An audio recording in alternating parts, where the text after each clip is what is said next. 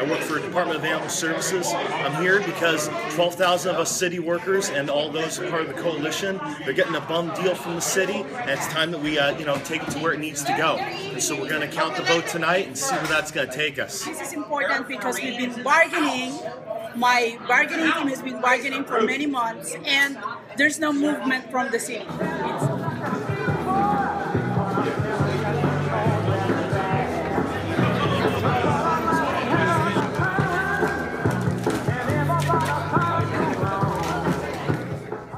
Stacy Carnia. I'm a chemist with the Environmental Monitoring Division.